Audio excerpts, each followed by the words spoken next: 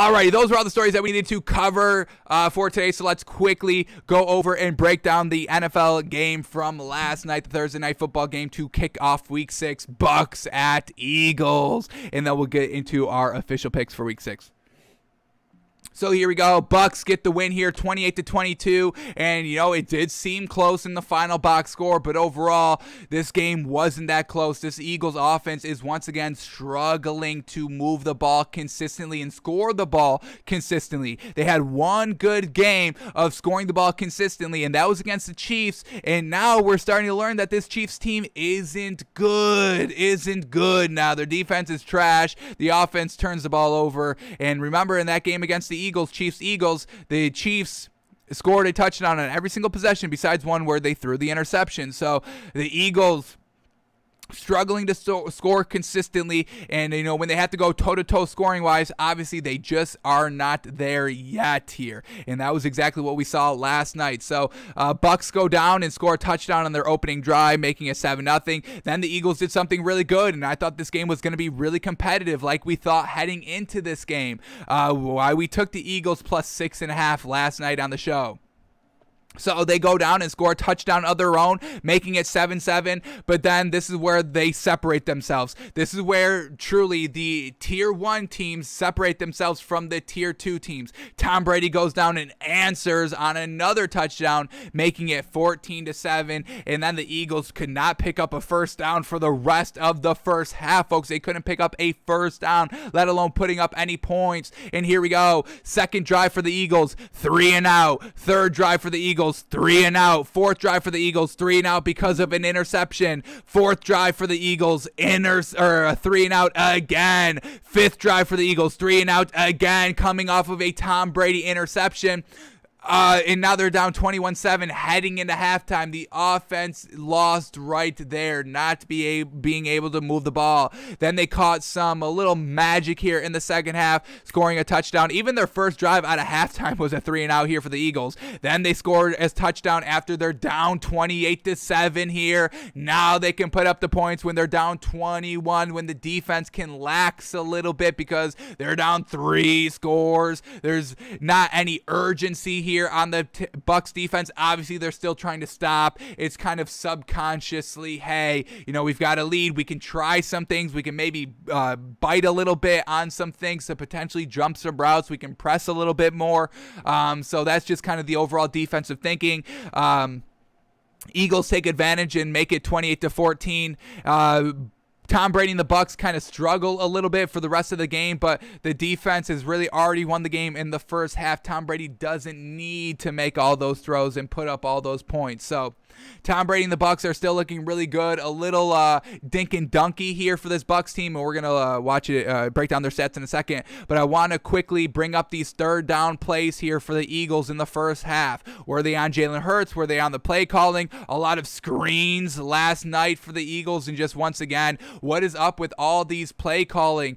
Everybody's like these new coaches are falling in love with the Ra- what the Ravens are doing um, in Baltimore with Lamar Jackson, but folks, obviously that doesn't work that is once again the outlier. Everybody's taking the exceptions of all these rules and making them the new new kind of rules here, and that doesn't work. That's why those were the exceptions to the rules, and that's why they really haven't worked for the last 20 years in the NFL. What the Ravens are doing with Lamar Jackson and running the ball and utilizing Lamar Jackson's true dual threat ability right here, that doesn't work for everybody. It, they caught magic with the Ravens, and that's it. That's why all the other rushing quarterbacks really aren't working nowadays. Even Russell Wilson is getting a little exposed a little bit over the last couple of years. RG3 couldn't kind of hang on with that. And uh, uh, even Patrick Mahomes is getting a little bit of kind of figured out as well. So it doesn't work. But now we're getting Kyle Shanahan with Trey Lance. We just saw him run the ball 16 times with Trey Lance, and that's not working. A lot of just direct quarterback snaps and a lot of just utilizing your speed at the line of scrimmage. That's really not getting it done in today's game. And now we get Nick Sirianni here with Jalen Hurts of a lot of screens and all that, quick outs, quick dink and dunks, and not really stretching the field vertically. It's hurting the overall teams, and they're not able to do it as good as the Ravens do it. And obviously, you need to do it as well as the Ravens do it because they're barely winning games. They barely beat the Chiefs. They barely beat the Colts this week. So even if you run it to perfection, it's still a close game. And obviously, the Eagles with Jalen Hurts and the 49ers with Trey Lance, they're not close to Lamar Jackson. So I think these new core, these coaches here, these new kind of dual threat quarterbacks, yeah, they're easy to fall in love with, but when you get them out on the field, they it's harder to win with them eh, than most of these people are thinking here. So it's just real interesting. But let's quickly go to the first third down that did not go. This was the second drive, third down and three. And like we were kind of saying, these third downs were all kind of third and shorts, like third and fives, third and threes. I think there were maybe one, like third and 10. But for the most part, we're talking about like third and fives, real manageable third down pickups. And they could not move the ball and pick it up in the first half. And that's really why they lost. But here we go. Let's uh, figure out this first one here. Here we go. Down 14 7, second drive drive of the game here for this Eagles team, and they're facing a third and three. Here we go. What can they do here? Jalen Hurts in the backfield dropping back to pass, pressure coming, and he goes over the middle in a crossing route, but misses a wide open read right here. Trying to, you should really hit Miles Sanders out of the backfield here. You have the defensive end crashing down. These two linebackers are going with the uh, with the slant routes over the middle of the field. You dump it down here to Miles Sanders toward the boundary. He tries to fit it in there. Defender makes a big play on the ball, and that is incomplete. So Jalen Hurts a little bit of a not great read there right here. And once again, this Eagles game plan all game, the dink and dunk shallow routes uh, screen game, it was a little way too conservative here for Nick Sirianni's offense. Unfortunate. So three and out there. Then the next drive here, still only down 14 to 7. Hey, still the game is open. Door is open. Third and five this time. Here we go. Jalen Hurts, third drive of the game, third and five. Gotta keep the chains moving. Gotta move the ball and threaten the defense. Here we go. Plenty of time to throw, and Jalen Hurts just misses. Is this Zach Ertz there on a huge kind of hitch route uh, towards the left sideline? And this is open here. He just misses it once again. Not great here by Jalen Hurts. Gotta shore up that accuracy. And we have his um Oh, they this crapped out on us. We can go back quickly. Uh, we have the next gen passing stats here. Uh, so here we go. This is Jalen Hurts' passing chart. Just look at everything is dink and dunk here. Look at all these throws to the left and not utilizing the middle of the field here. Look at this. They're going left side to right side, left side to right side. And if you consistently do that, then you're making it easy on the defense to just to cover one side of the field. All right, we have to th- cover the left side. We can do that. We have to cover the right side. We can do that. So both of these quarterbacks were really dinking and dunking, not really airing it out this entire game. But this was the main difference. This Eagles offense was doing left side to right side to right side to left side, left side to right side. But this is what Tom Brady did. Same thing with Dink and Dunk.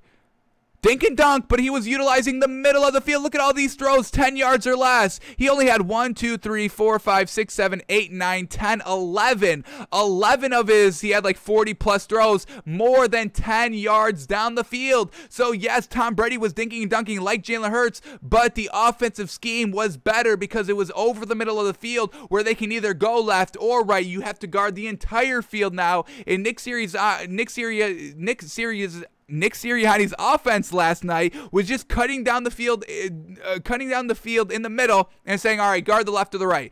Well, you're taking away half the field, so it's easier. So not great offensive play calling here by this Eagles team. And you know when they when they had the scheme right, Jalen Hurts not executing. So unfortunate there.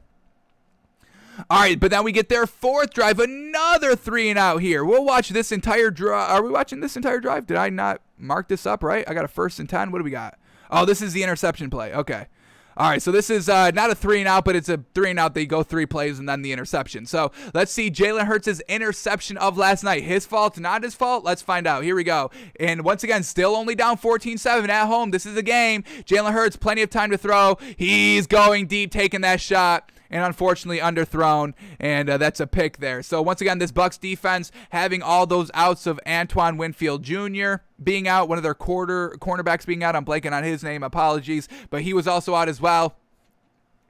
And uh, there's everybody else, next man up mentality was still getting it done here for this uh, Bucks team. So shout out to that. But yeah, Jalen Hurts trying to take the shot here and just overthrows the ball. A little disappointing here on the, with this receiver not truly competing for this ball, even though it was underthrown kind of jumps a little early. Okay. But that's still, you know, it's a shot there with Jalen Hurts, which we appreciate, but you can't make it a pick. When you throw these 50 50 balls, you need to put it in a position where only your receiver can get it, and he just overthrows it. So, unfortunate there with Jalen Hurts once again. Once you get kind of the scheme good, Jalen Hurts can't really capitalize there. And then we've got this three and out right here, third and six. Now they're down 21 7 now, a little bit more urgency. A minute and 40 left in the first half. Jalen Hurts dropping back to pass. Plenty of time to throw. Plenty of time to throw. Launches it and overthrows. Not able to make that uh, throw here. And this is an open throw right over the corner right before the safety. It's a pinpoint throw, and it's it's a tough throw to make. I'm not saying this is an easy throw, but this is a throw you need to make right here. So Jalen Hurts' uh, deep ball accuracy desperately needs to be cleaned up. That's the worst thing about him. We believe well, if he can start honing in the accuracy, this man is a good quarterback. Utilizes legs. He makes usually the right decisions, but you got to clean up the accuracy right there. And then he had one final opportunity right here a two minute drive. They get the ball back because they pick off Tom Brady, which obviously is happening a little bit more often here over the last two seasons, but it doesn't matter because they're still winning games. So Tom Brady's like, yeah, I don't give a damn. I'll throw one, two, even three interceptions in a game. We'll still win. I don't care. Um, nobody takes advantage of Tom Brady's interceptions. So he's like, why am I going to stop taking these chances if nobody's going to make me pay? Aaron Rodgers didn't make me pay after three interceptions last year in the NFC Championship game. I can throw interceptions whenever I want. And he's doing it here this season still, and they're 5 and 1. Riddle us that. Once again, exception to every rule, folks. But here we go. Uh, Jalen Hurts, a two minute drive here, basically a minute drive. The good starting field position at the 32 yard line, down 14 points. Really got to score here because they, they get the ball out of halftime, right? Yeah, they get the ball out of halftime. So you score here, you make it a one possession game, and you get the ball out of halftime, potentially to tie it up at home. Now it's a whole different ball game. But like we said, the offense was struggling here, even a three and out uh, to start the second half. But here we go. Let's watch this two minute drive here. Plenty of time to throw here by Jalen Hurts. Shorts it to a comeback route on the left sideline. Incomplete. Once again, got to shore up the accuracy. I think they review this one and call it incomplete. Um, Let's watch this one in slow mo. Obviously, it hits the ground. Jalen Reagor's gotta catch that. That one's a that one's on Jalen Rager. Still a tough throw altogether, but Jalen Hurts decent accuracy right there. And once he has decent accuracy, you must make it up for him. These receivers must be playing. You know, this is what we talk about in tier two wide receivers. Our classification of kind of tier two wide receivers, they really don't elevate the wide receivers, or these tier two quarterbacks don't elevate uh, tier two wide receivers. And all these receivers here on the Eagles are tier two. They don't have a DeAndre Hopkins, a Stefon Diggs, um, a Davante Adams, a Tyreek Hill. Those are tier ones. They got Jalen Reagor, tier two. They got DeVonta Smith, a rookie who can become a tier one, uh, but he's a rookie, so he's still still in tier two status. So you've got to kind of elevate these quarterbacks' play out here, and they're not doing that. So incomplete pass here. Now we're gonna get a second and ten now. Clock is stopped. You've got three timeouts. You can go wherever you want here in the field. Steps up in the pocket, escapes the pressure, throwing on the run towards the left side and throws it out of bounds. Nowhere really to go with the ball. And then we get a third and 10 right here. Once again, you can do whatever you want here. Three timeouts. Pick up the first down at solid field position right here at the 32 yard line. Here we go. Drops back to pass plenty of time to throw, decides to take off with it, and only gets about six yards before getting out of bounds and once again having to punt. So just this offense, another slow start here. Uh, Nick Sirianni starting to come into a little bit of a question here. I know it's still early, but you know time is running out of competing for a playoff spot, competing for this division. Um, obviously, the Giants in Washington, you don't have to worry about them in the NFC East, but the Dallas Cowboys, man, oh man, they're looking way better offensively, defensively defensively, everything than this Eagles team. So there is still time for this Eagles team to catch up, but the offensive play calling needs to be better, and Jalen Hurts' accuracy needs to be shored up.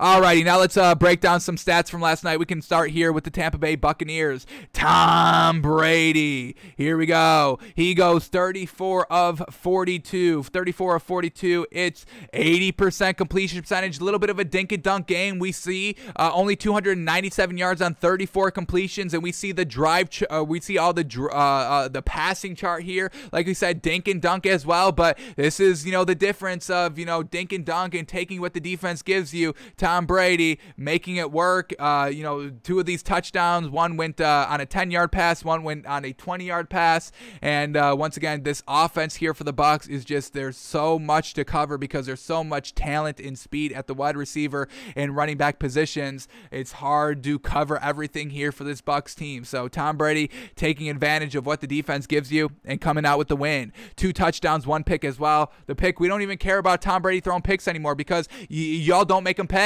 We see this time and time again. It doesn't matter how many interceptions Tom Brady throws, he will still win the game. Let me go. Uh, let me get up his career stats quickly. Can I bring these up? Is Google finally working for us? Uh, Tom Brady. I want to see. Um, here we go. Tom Brady. I want to see what Tom Brady how many interceptions he threw last year compared to like what he was doing kind of every single year with the Patriots because we obviously know he won the Super Bowl last year obviously but last year, how many interceptions he threw? He threw 12 interceptions last year, folks. 12. His most highest seasons is 14 and 12 and 13. So a season where he threw his most interceptions, and he usually does, he still wins the Super Bowl. Why? Why? Because y'all don't make him pay for those interceptions. Still able to win games uh, while throwing 12 picks. So that's what Tom Brady does, folks. The most he's ever thrown in a season is 14. He's done it three times. So he's not one for the picks, folks, like Aaron Rodgers. And he's already got three this season through six games. So 6 12, uh, about uh, three more, 3 6 9. So this only puts him at nine. So he's right on target of being less than last season. So another Super Bowl in Tom Brady's future, most, most likely, folks. Jeez. Alrighty, and let's talk about this running game because Leonard Fournette, folks, this is what I'm loving the emergence of Leonard Fournette, folks. Uh, we talk about it, you know, decently every week here because we're seeing it every single week. It's not Ronald Jones being the number one running back here for this Bucks team like it was last season. They are truly, truly utilizing Leonard Fournette, and he's getting better here, way better than he was last season, and we absolutely love it. So Leonard Fournette, 22 carries for 81 yards, two touchdowns as well, rushing for 3.7 yards a carry. It's not it's not nothing special or spectacular, but it's still real solid here. Exactly what it needs to be for this Bucks team. It doesn't need to be above and beyond because you have Tom Brady. So it doesn't need it. Uh, you don't need a Derrick Henry in the backfield when you have Tom Brady. You need a serviceable, big, beefy weapon, and that's Leonard Fournette getting it done. 22 carries. That's what we love. We've got 42 passes with Tom Brady and 22 rushes by the running back. I mean, complete offense right here. So absolutely love that. Ronald Jones still getting decent production here five carries for 20 yards. We'll take that. Um, and then who was Tom Brady re- uh, throwing to all game long? Antonio Brown, nine receptions for 93 yards. Once again, what is different from this Bucks team this year than last year? Antonio Brown, right from the get go, getting it done. Leonard Fournette being the main back. And is this offense a little bit better than it was last year? I think a little bit. I would say a little bit. I don't think Tom Brady was leading the league in passing yards five weeks into the season. And like we said, he's got another 300 here this week. So heading into week seven, he's still going to be like the leading uh, passing quarterback here in the league. So, man, oh man, folks, this Bucks team, they're not what they were last year. They're even better. They told us they were going to be, and we believed them, but now we're seeing it. Holy cow. OJ Howard, their tight end, six receptions, 49 yards, one touchdown. OJ Howard got out to a touchdown uh, first, and then it was Zach Ertz. We thought we were going to get a battle of the tight ends there, but that's all they did for basically the entire game. Came out firing hot, and then kind of just sat back in their chair for the rest of the game. Uh, Leonard Fournette, also what makes him better this year than what he was last year, catching the ball. He was abysmal catching the ball. Uh, I'm going to double check my fact on that too. Uh, let's get that up. I want to see Leonard Fournette catch percentage last season. Um, I want to get a get a nice uh, stat to that. Um, hopefully it lines up that uh, we know what we're talking about here. Uh, but here we go. Last season, Leonard Fournette's catch percentage. Uh, 76. This season, 83. Bingo, bango. Better than it was last season. He goes six for six, six targets, six receptions this season. Fantastic. And what we're talking about, you know, running backs catching the ball, we expect high catch percentage because usually they're dinking dunks out of the backfield. We don't have Leonard Fournette running, you know, 40, 50 yards down the field like wide receivers do. So still, like 76% catch percentage is a little bit low for these running backs. And, uh, you know, this year, like we said, 83%. So catching the ball at a better pace right here to utilize it. And he was the third leading receiver here for the Bucks. Six receptions on six targets for 46 yards. Then we had Chris Godwin, five receptions for 43 yards. Mike Evans, two receptions for 27 yards, and they still put up 28 points and two passing touchdowns and 300 yards passing. Folks, folks, folks, this Bucks team, I mean, what can you say about it?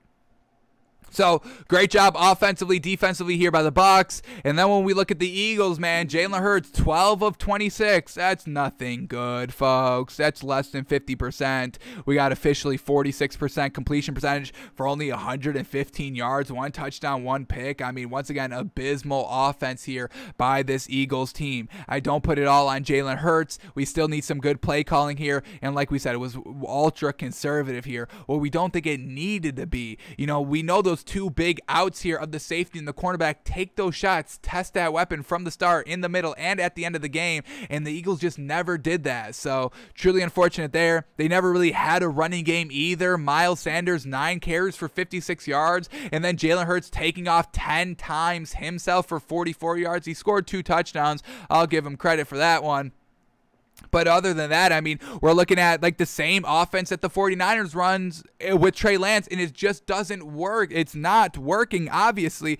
They're not winning games. They're barely putting up the points. They're barely competitive through the entire game but yeah, they're adamant on making it work. It doesn't work unless you're Lamar Jackson. And Jalen Hurts is not Lamar Jackson. He's got a good arm, so let him pass. Trey Lance, I don't even know what the hell that dude is yet. Um, I haven't really seen that much of him. Everything that we've seen so far is nothing great. He's worse than Jalen Hurts, in my opinion. And you're running an offense that is supposed to be tailored to Lamar Jackson. So I just don't like the offenses overall by Philadelphia in the 49ers, folks. It's not a good offense scheme schematically, weapons wise, everything a part of it. It's not going to win in this league, and we're seeing it here, folks. I you got to change this offense. You've got to change it. I won't buy I won't buy these teams until they change the offense, folks. Um, I want to buy Jalen Hurts. I'm real close to buying Jalen Hurts, but overall, this team, it's not it. And then you just got rid of Zach Ertz, so real worse than what they were coming into this game.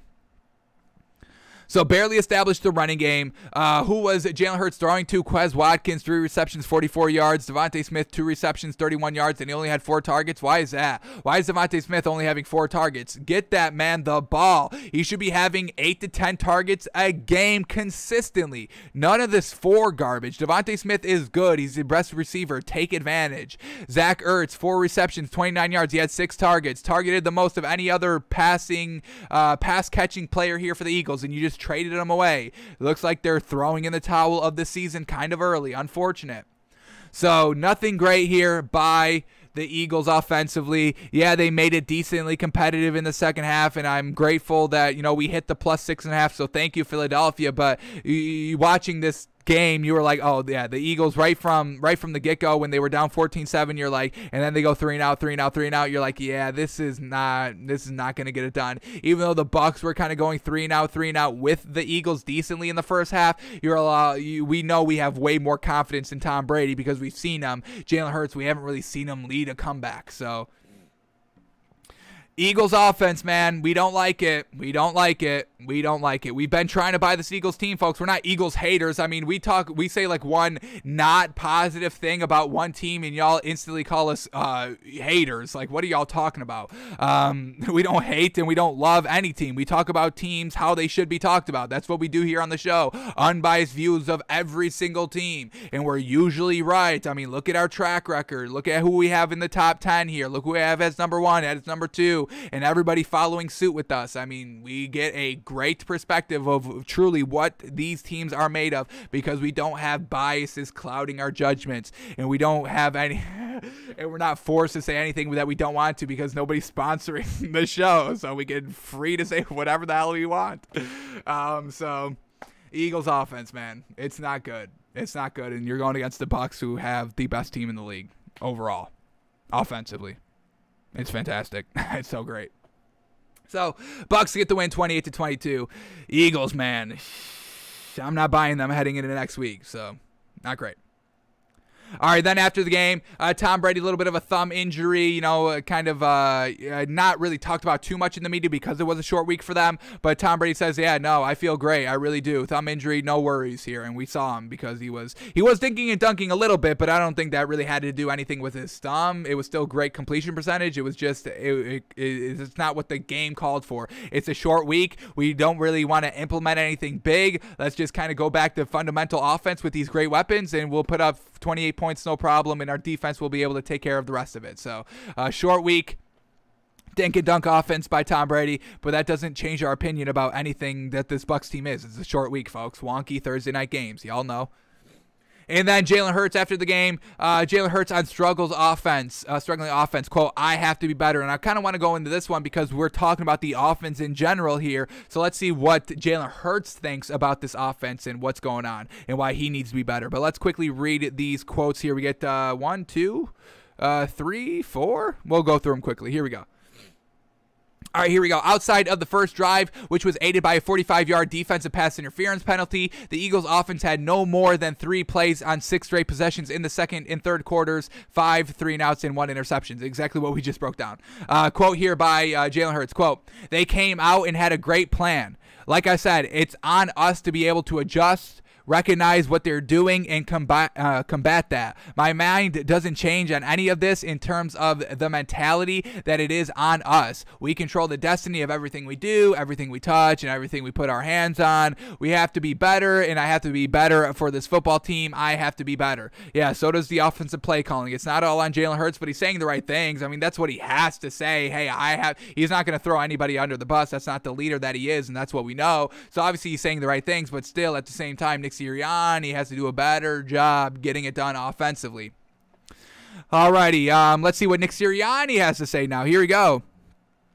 Sirianni was asked if leaning on run pass options as their primary ground game weapon puts too much pressure on Hurts to make the correct decision instead of just calling direct run plays. He said, quote, no, I don't think so. He's been doing that a long time, that his RPO game and how he reads things, so I don't believe that's an issue. So uh, kind of interesting, different philosophies here. We see the Bears with Matt Nagy, I mean, barely letting Justin Fields control the offense. We've seen like 20 six plus runs, uh, rushing attempts, and really kind of a run heavy. I think it's actually 30. I think it was 30 plus uh, between their two running backs. So barely letting Justin Fields run the offense. And now Jalen Hurts, like we said, you know, he's not a true rookie, but he doesn't have a full 16 game season under his belt or even like a 15 game or 10 or anything like that. He played like four or five games last year. So he is still a little bit of a rookie in the sense of on field experience. And Nick Sirianni, rookie head coach, putting it kind of a lot on Jalen Hurts to get it done, and they just don't have the pieces to really complement that type of offense. Uh, so I really think it's more of the offense than Jalen Hurts at this point. All right, what else do we get here? One more quote here by Nick Sirianni. The coach's love of receiver screens has been figured out by defenses, making that outlet futile and putting the offense behind the sticks too often. Hurts shouldered the blame for the inconsistent offense. Quote uh, by Jalen Hurts. Excuse me. Quote: I think have I think I haven't executed well enough to win clearly. I take responsibility for that. I always take responsibility for that because the ball is in my hands every play, and I enjoy that. And I think that I have to be better. And we see that on the third downs, third and shorts, not hitting the open receivers or not making the right read. So, yeah, it is still on Jalen Hurts a little bit as well. All right, one last quote here by Jalen Hurts. Here we go. Uh, quote, this whole year we kind of shot ourselves in the foot and we know and we believe. I have unwavering faith in the guys on this football team and everybody on this field and that we have everything we need. It is just a matter of us putting that together. It is the, it is tough, but I have unwavering faith in everyone in this building in that it will come to go toe to toe with a team like that. As bad as I started, it is bad, and we didn't click early. When it came down to clutch time at the end of the game, we ran out of time, and that's what this uh, Eagles offense is. We just saw it last week when they were down. Um, who they have last week? Oh my God, I am blanking today. I am. I apologize, folks, but I mean down in the first half and then staging that big comeback. Is this what this Eagles team is? Because that's not a good. That's not a sign of a good offense if you're just down because the other team is up big and then you come back to make it look serviceable, like what we saw with Sam Darnold two weeks ago against the Cowboys. Everybody was like, "Oh, they kind of almost beat the Cowboys." It's like, no, they didn't. They throw back-to-back interceptions in the third quarter, and then they were able to maybe string along some things together in the fourth quarter, but they were already down like three possessions. So that's not a good offense. That's not any indication that y'all should be building what good standards are when they're coming back down from behind. It's a great in the moment, and it's something that you can build upon, but it's not something that we should escalate as something so great in that this is like uh, can match with other great tiers in this league that can come out and get it done right from the get go and don't need to be down 21 points to start getting it going into high gear. So, and it was last week with the Panthers. Uh, the Panthers are always in everything that we talk about, which is never great because they're not a great team overall. But we digress. Eagles offense needs to be better. J- Jalen Hurts got to show up the accuracy, and uh, they they got to put up points consistently, and they just haven't done that. So Eagles offense is the big problem. The defense is a real solid defense here. So that was Thursday night football from last night. Bucks win 28 to 22.